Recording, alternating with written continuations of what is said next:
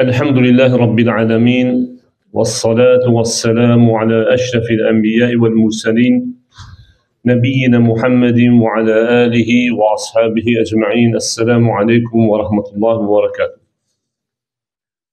Möhtərəm Müslümanlar, İmam Ən-Nəvəvinin Riyadu Salihin kitabını keçməyə davam edirik. Səbir bölümündəyik. Və bu gün səbirlə əlaqəli, yəni səbir etməyə təşviq edən başqa növbəti hədisi götürəcəyik. Ə, Hədis Usama ibn Zeyd ibn Harithədən rəvayət olunur.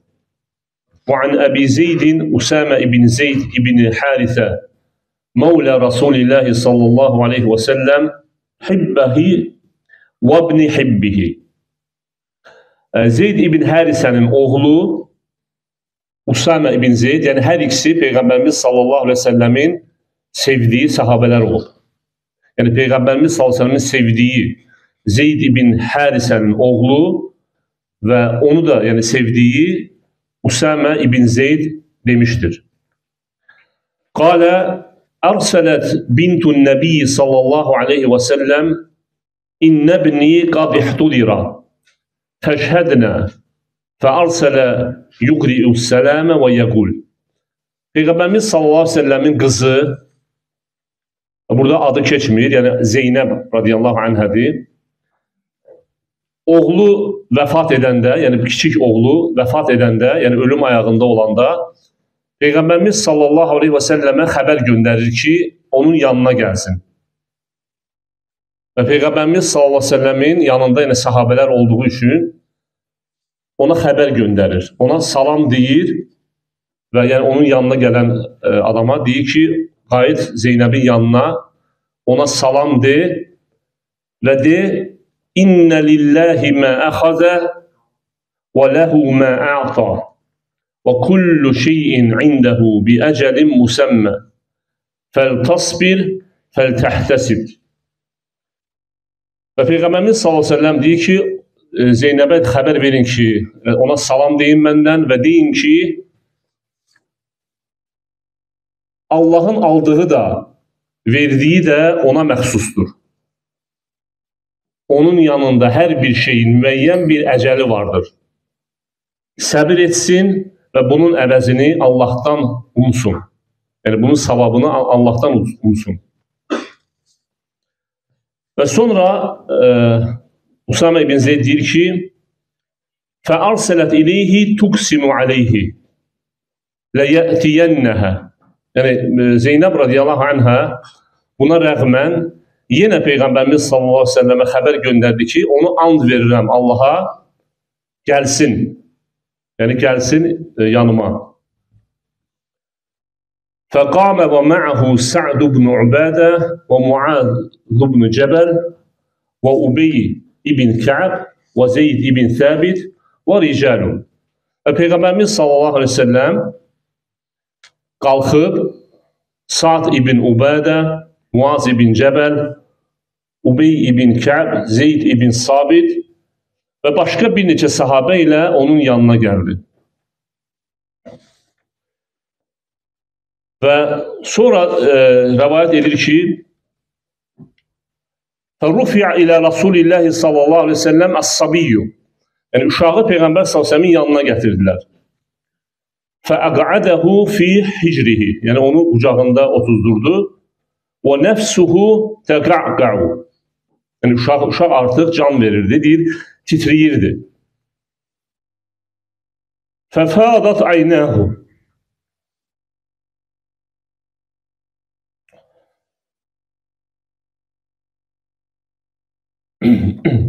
Peyğəmbər s.ə.v-in gözləri doldu. Fəqalə Sa'd və Sa'd radiyallahu anhu Peyğəmbər s.ə.v deyir ki, Ya Rasulullah, Mə hədə? Yəni, ey Allahın elçisi, bu nədir? Yəni, sən də ağlayırsan. Fəqalə həzihi rəhmətun cəaləhə Allahu Teala fi qulubi ibadihi.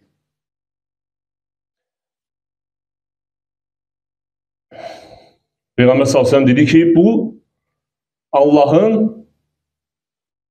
qullarının qəlbində, qəlbinə saldığı bir rəhmətdir. Və fi rivayətin, başqa bir rivayətdə fi qulubi mən şəə min ibadihi. Başqa bir rivayətdə gəlir ki, Allahın qullarından istədiyinin qəlbinə yerləşdirdiyi bir rəhmətdir. Fə innəmə yərhəmullahu min ibadihi ruhana. Allah qullarından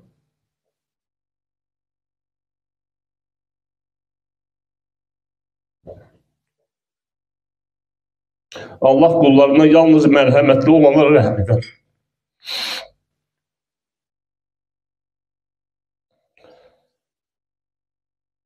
Bu hədis, qardaşlar, müsibət baş verəndə səbr etməyə dəalət edən bir hədisdir. Yəni biz e, keçən dərslərimizdən bildik ki, ümumiyyətlə e, səbrin üç növü var. Birincisi, e, demək, ibadətlərə səbr etmək, yəni ibadətlərdə davamlı olmağa səbr etmək. İkincisi, günahlara, yəni günahların qarşısında, günahlara düşməmək üçün haramlardan çəkinməkdə səbr etmək. Üçüncüsü isə müsibətlərə səbr etmək. Yəni insanın başına gələn müsibətlərə səbr etməsidir. Və bu hədis e, üçüncü növə əsasən dəlalət edir. Yəni insanın başına gələn müsibətlərdə səbr etməsidir. Çünki Peyğəmbərimiz sallallahu əleyhi və səlləm nə dedi? Fəltasbir vəl təhtəsib. Səbr etsin və savabını Allahdan umsun. Ümumiyyətlə qardaşlar, e, bilmək lazımdır ki, insanın başına gələn hər bir müsibət yalnız Allahın izni və qədəri ilə olur. Yəni insan bunu bilməlidir. Necə ki uca Allah Qurani-Kərimdə buyurur ki: "Və mə mə əsabə min musibətin illə bi iznillah." Yəni insanın başına gələn elə bir müsibət yoxdur ki, o Allahın izni ilə baş verməsin. Yəni istənilən bir hadisə, istənilən bir müsibət insanın başına gəlirsə, bu Allahın izni ilə olur. Və sonra Allah təala buyurur ki: "Və men yu'min billahi yahdi qalbə." Kim Allaha iman gətirərsə, Yəni burada iman nəyi nəzərdə tutulur? Yəni bu başına gələn müsibətin Allah tərəfindən baş verməsinə iman gətirərsə, çünki imanın şərtlərindən də biri nədir? Qəza bu qədərə səbr etmək. Qəza bu qədərə iman gətirmək. Və kim Allaha iman gətirərsə, yəhdi qalbə. Allah onun qəlbini doğru yola yönəldər. Vallahu bi kulli şeyin alim. Allah Taala hər bir şeyi biləndir. Və bu ayənin təfsirində İbn Kəsir deyir ki, yəni təfsir edir, deyir ki, mən asabəthu musibətun fəalimə ənnəhə biqadaillahi və qadərihi fəsabərə və ihtəsəbə və istəsləmə liqadaillahi hədəllahu qalbəhu. Deyir, kim başına gələn bir müsibət, yəni başına bir müsibət gəldikdə bilərsə ki, bu Allahın qəza və qədəri ilədir, və səbr edər və bu qarşına gələn müsibətin savabını Allahdan umarsa və Allahın qədərinə, Allahın əmrinə tabi olarsa, Allah onun qəlbini doğru yola yönəldər. Yəni yəqinliyini artırar. Və avvadahu amma fatahu fi'd-dunya hudan fi qalbihi. Yəni dünyada itirdiyinin əvəzinə onun qəlbinə hidayət verər. Allah Taala. Və yəqinən sadiqan və yəqin yəqinlik verər. Və sonra deyir ki, qad yaxlufu yaxlufu alayhi ma ma kana axaza minhu. Ola bilər Allah Taala dünyada ondan aldığının əvəzini, yəni eynisini ona versin, o xeyran minhə və yaxud ola bilər ki, ondan daha xeyirlisini ona versin. Yəni verməsə belə Allah Taala əvəzini Yəni insanın səbr etməsi və bunu Allahdan olduğunu qəbul etməsi, yəni bu özü buna görə Allah Allah ona yazdığı savab ona yetər. Necə ki keçən dərsimizdə İbn Teymiyənin bir sözünü qeyd elədik. Dedik ki İbn Teymiyyə deyir ki Allah Taala bir insandan bu dünyada bir şey alarsa və həmin o itirdiyinin əvəzinə ona səbr verməsi bu dünyada ondan götürdüyündən daha xeyirlidir onun üçün. Və bu hədisdə e, birinci bunu qeyd edək ki, e, deməli Zeyd ibn Haris və həmçində onun oğlu Usama ibn Zeyd hər iki sahabə Peyğəmbərimiz sallallahu əleyhi bunları çox sevirdi. Ona görə də İmam Nəvəvi hədisin əvvəlində qeyd edib ki, Peyğəmbərin sevdiyi sahabələr. Zeyd ibn Harisə ümumiyyətlə bu sahabə Xadicə radiyallahu anhun anhənin köləsi idi. Və çünki burada gəlir ki, Mavlə, yəni Peyğəmbərin sallallahu azad etdiyi kölə. Və e, Xadicə radiyallahu anhə onu Peyğəmbərimiz sallallahu əleyhi və səlləmə hədiyyə edir. Və Peyğəmbərimiz sallallahu əleyhi və səlləm də onu azad edir. Və azad ed ed etdiyinə görə də e, Zeyd ibn Hərisə Peyğəmbərin azad etdiyi kölə adlanırdı. Və onun oğlu da, oğlu Usame ibn Zeyd də onu da Peyğəmbərimiz sallallahu əleyhi və səlləm yəni çox istəyirdi. Hər iki sahabəni çox istəyirdi.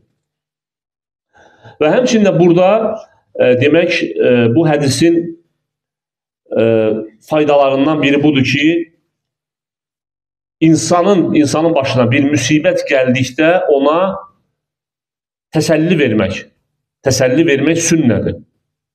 Təsəlli vermək sünnədir. Və təsəlli üçün də ən gözəl dua, ən gözəl zikir, necə ki, bu hədisdə Peyğəmbərimiz sallallahu əleyhi və səlləmin zikr etdiyi kimi İnnə lillahi mə əxəzə və lillahi mə ə'ta və kullu şeyin indəhu bi əcəlin müsəmmə. Allahın aldığı da, verdiyi də ona məxsusdur. Və hər bir şeyini və onun yanında hər bir şeyin müəyyən bir əcəli vardır. Ümumiyyətlə, qardaşlar, E, bu duanın mənasına baxsaq, görərik ki, həqiqətən də Allaha məxsusdur hər bir şey. Hər bir şey Allaha məxsusdur. Yəni bizim bu gün əlimizdə olan istənilən hər bir hər hansı bir nemət Allahın bizə payıdır. Və əgər Allah Taala bunu bizdən alırsa öz hikmətinə görə buna görə biz e, demək e, asi olmamalıyıq. Buna görə biz E, e, Allaha, Allahı qəzəbləndirən söz işlətməməliyik. Və e, necə ki, oxşar hədis Peyğəmbərimiz sallallahu əleyhi və səlləmin oğlu İbrahim dünyasını dəyişəndə Peyğəmbərimiz sallallahu gəlir və yenə də gözləri dolur. Və sahabə deyir ki, ey Allahın elçisi, sən də ağlayırsan. Abdurrahman ibn Avf olur səhv eləmirəmsə. Peyğəmbər sallallahu nə deyir? Deyir, "El-qalbu yahzan və el-aynu tadma'u vel-qalbu yahzanu." Və la nəqulu illə mə yarda rabbuna. Deyir, gözlər dolur, yaşarır, qəlb kədərlənir. Biz isə Allahın razı qaldığından başqa bir şey demirik. Və e, həmçinin qardaşlar, burada e, sahabə niyə soruşdu Peyğəmbərimiz sallallahu əleyhi və səlləmdən? Çünki sahabə Peyğəmbərimiz sallallahu əleyhi və səlləmin ağlayan görəndə fikirləşdi ki, Peyğəmbərimiz sallallahu əleyhi və səlləm bizə səbr etməyi tövsiyə edib. Və fikirləşdi ki, ağlamaq yəqin ki, səbr etməyə ziddir. Yəni belə fikirləşdi. Və ona görə də bu sualı verdi Peyğəmbərimiz sallallahu əleyhi və səlləmə ki, yəni sən də ağlayırsan ey Allahın elçisi. Və Peyğəmbərimiz nə dedi ona?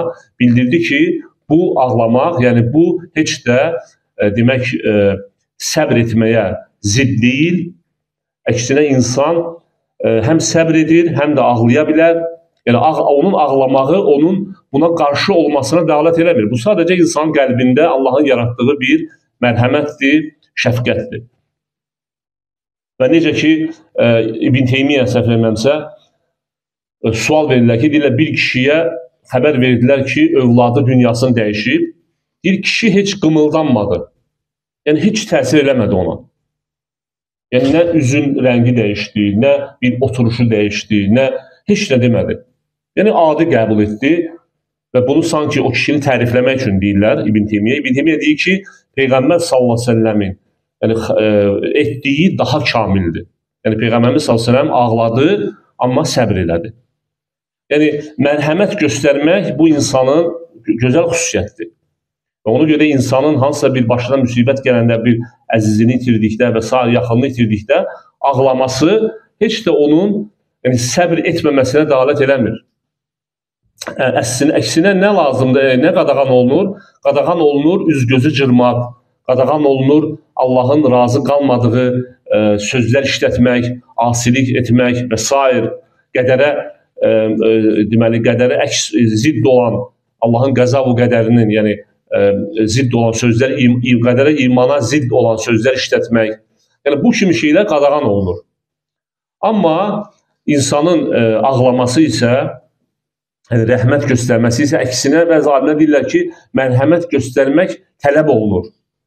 Yəni insan mərhəmət göstərməlidir. Yəni insan əgər mərhəmət göstərsə, bu onun gözəl xüsusiyyətidir. Çünki Allah Taala necə ki hədisin axırında gəlir, qullarından yalnız mərhəmətli olanlara rəhm edər. Yəni bu yaxşı xüsusiyyətdir. Və həmçinin qardaşlar, e, burada Peyğəmbərimiz sallallahu əleyhi və səlləm iki şey əmr elədi. Əs-sabr, yəni səbr etmək, və ihtisab. İhtisab da əcrini Allahdan ummaq. Yəni səbr etmək günahlara kəffarədir. Necə ki bildiyimiz kimi insanın bu dünyada ikən günahlarını yuyan e, bir çox əməllər var. Başımıza gələn hər bir müsibət, hər bir bəla, hətta Peyğəmbərimiz sallallahu əleyhi və səlləm deyir ki, müsəlmanın dırnağına batan e, tikanda belə onun üçün kəffarə var. Və ihtisab isə nədir? İhtisab isə savab ummaq. Yəni insanın başına gələn müsibətdə səbr edərsə, bu onun üçün həm savabdır, həm də günahları yular, e, həmçinin Allahdan savabını umarsa, çünki Allahdan savabı ummaq da çox önəmlidir. Yəni bəzən insanlar bu ikinci Allahdan savabı ummağı ağlına gətirmir. Səbr edir, amma baxırsan Allaha e, savabı ummağı Allahdan gətir, e, ağlına gətirmir. İnsan gərək həmçinin düşünsün ki, buna görə mənə savab yazılır və bunun savabını Allahdan umsun. Allah ona savab yazır. Və həmçinin e, Peyğəmbərimiz sallallahu nə deyir? Deyir ki, İnnə lillahi mə əxəzə və lillahi mə ə'ta. Yəni Allahın aldığı da, verdiyi də Allaha məxsusdur, ona məxsusdur. Yəni hər bir şey Allahın mülküdür. Hər bir şey Allahın mülküdür. Və kullu şeyin indehu və və kullu şeyin indehu bi əcəlin musamma. Və, və onun yanında hər bir şeyin əcəli var. Necə ki Allah Taala başqa bir ayədə buyurur ki, "Likulli ummetin ecel." Hər bir ümmətin bir əcəli var. İzə caa eceluhum la yestəxirun sa'atan və la yestəqdimun. Yəni onların əcəlləri gələrsə, nə yubanar, nə də gecikər. Hə, nə də tezləşər. Nə yubanarlar, nə yubanarlar, nə də gecikərlər. E, e, deməli, nə e, yubanarlar, nə də önə ki, qabağa keçə bilərlər. Yəni bu əcəldən. Və ona görə də insan ə, bilməlidir ki, hər bir şeyin əgər əcəli varsa və hər bir şey Allaha Allaha məxsusdursa, o halda insan itirdiyi bir şeyi itirərsə, o halda buna kədərlənməməlidir. Çünki hər bir şeyin əcəli var, bunun da əcəli bura kimmiş və heç bir şeyin əcəli nə yubana, nə də ə, qabağa keçər. Və həmçinin oxşar bir hadisə başqa bir e, e, sahabənin başına gəlir. Ummu Süleym radiyallahu anhə sahabə qadın olur və onun yoldaşı Əbu Talhə. Və bunların oğlu olur, övladı olur və oğlu xəstə olur, xəstələnir. Və Əbu Talhə gedir məscidə Və bu ə, ə, vaxt uşaq ölür. Yəni bu ərəfədə uşaq ölür, dünyasını dəyişir və Ummu Süleym çox ağıllı, zəkalı bir sahabə qadın olur. Allah ondan razı olsun radiyallahu anhə. Və evdə olanlara deyir ki, heç kəs Ummu Süleymə bu barədə e, Abu Abu Talhəyə bu barədə xəbər verməsin. Yəni Abu Talhə e, demək e, e demək ki, Ummu Süleym Ənəs ibn Məlikin anasıdır. Yəni birinci zövcəsindən olan anasıdır. E, birinci zövcəsindən olan bəli oğludur. Yəni Ənəs Ummu Süleymin oğludur, üzr istəyirəm. Ummu Süleym Ənəsin anasıdır. Və Ənəs radiyallahu anhu Ummu Süleymin birinci zövcəsindən, yəni cahiliyə dövründə olan e, zövcəsindən oğlu olur. Və sonra e, Abu Talhə gələndən sonra gəlir evə və Ummu Süleym uşağı yəni yuyur, kəfənləyir, qoyur bir qırağa. Abu Talhə gəlir, oturur, deyir uşaq necədir? Deyir uşaq istirahət edir, rahat rahatlaşdı. Yəni dünyasını dəyişdi, bildir, bildirmir ona. Yeməyini verəndən sonra e, Abu Talhə sual verir. Deyir ki, əgər bir ailə başqa bir ailədən kirayə, yəni müvəqqəti bir şey alarsa, borca və yaxud istifadə üçün, sonra onu qaytaranda, yəni ev sahibi istəyəndə onu əgər bunlar etiraz edərlərsə, necə baxırsan buna? Bir ədalətli deyil bu, düzgün eləmirlər. Qaytarmalıdırlar. Və sonra deyir ki, bildirir ki, ona artıq bizim övladımız dünyasını dəyişdi və bu Allahın bizə verdiyi pay idi və, um, və Əbu Talhə sakitləşir. Yəni qəbul edir onu. Qəbul edir səbrlə, təmkinlə qəbul edir onu və sonra ə, e, səhər durur, gəlir Peyğəmbər sallallahu yanına. Və axş gecə bunların yəni yaxınlıq olur aralarında və Peyğəmbərimiz sallallahu deyir ki, e, bilir, yəni onun o hadisəni ona danışanda deyir, Allahdan istəyirəm ki, Allah Taala sizin bu gecənizə bərəkət versin. Və ondan sonra onun Abdullah adında oğlu olur və bundan sonra daha başqa uşaqlar da olur onların bir rəvayətə görə 9 dənə uşaqları olur, uşağı olur. Yəni bu e, bu şeylər hamısı, yəni bunlar e, bunlardan biz ibrət götürməliyik ki, yəni insanın başına bir müsibət gəldikdə səbr etməli. Bilməlidir ki, bu Allahın ona payıdır və Allah Taala'dan al alanda da bunu səbrlə, təmkinlə, Allaha asi olmadan, yəni qəza bu qədərə, Allahın qəza qədərinə təslim olaraq qəbul etmək lazımdır. Və həmçinin qardaşlar, e, bu hədis dəlalət edir nəyə?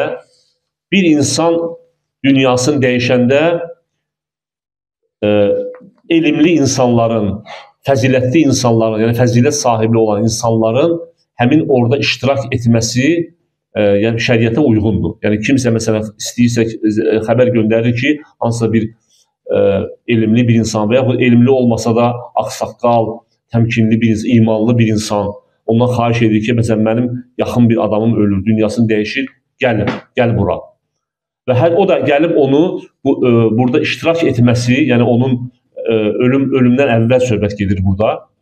Yəni bu e, şəriətlə buyurulan bir əməldir. Yəni xoş bəyənilən bir əməldir. Çünki niyə görə imanlı insan, təqvalı insan nə edir?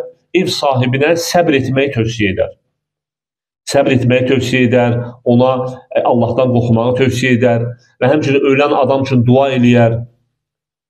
Həmçinin onun e, bəlkə kəlmə-i şahadət üzərində ölməsinə səbəb ola bilər əgər böyük adamdırsa.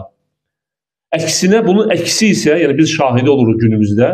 Baxırsan ölən adamın e, deməli ə, yanına, yəni gələndə ə, cahil insanlar baxırsan ki, aləm dəyir bir-birinə. Hərə bir şey deyir, hərə bir şey təklif edir. Ondan sonra biri deyir, nə bilim, ayağını çevir qibləyə, biri deyir, başını çevir qibləyə, biri deyir, nə filan şey aç üstünü, biri deyir, ört üstünü. Hələ ölmüyor, məsələn, insan hələ ölüm ayağındadır. Və yaxud vay şivən qopardırlar, qadınlar xüsusən başlayırlar ə, ağı deməyə və s. Yəni bu bu görürsünüzmü? Bu əks, əksinə amma ə, imanlı insan, təqvalı insanlar gələrsə, nə edirlər? Orada baxırsan ki, ə, demək əksinə şəriətə uyğun şəkildə yerinə yetirilməsi və s.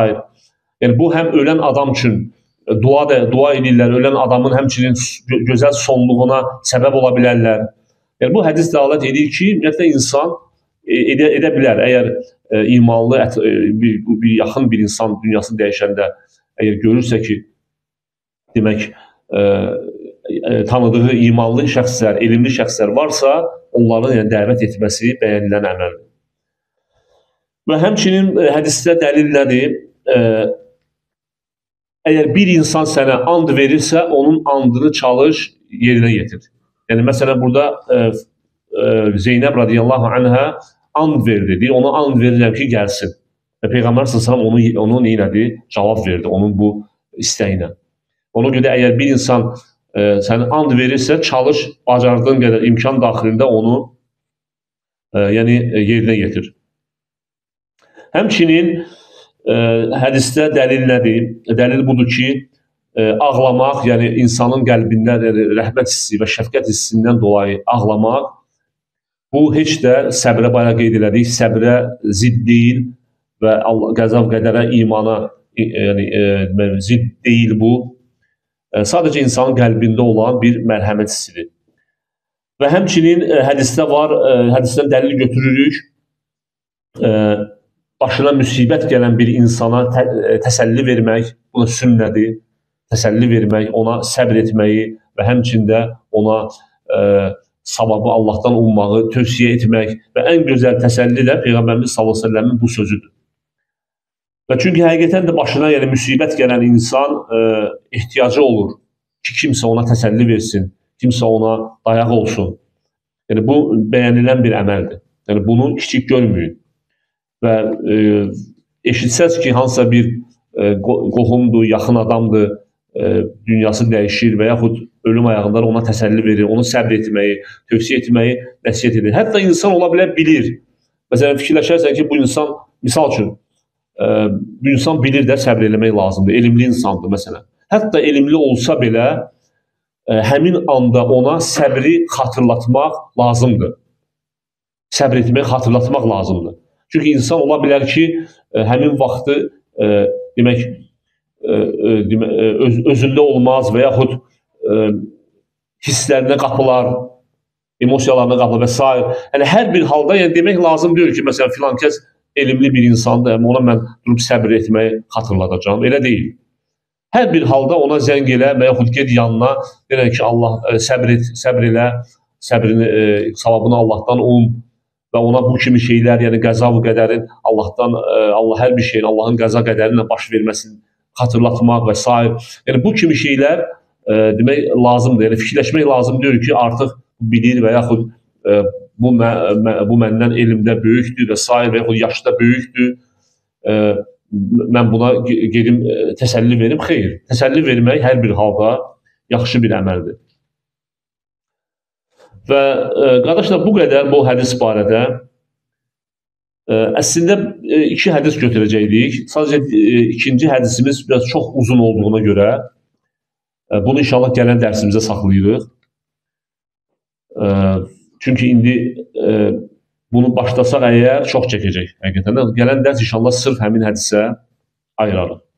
Və sallallahu alə nəbiyyinə Muhammedin və alə alihi və ashabihi ecmaîn.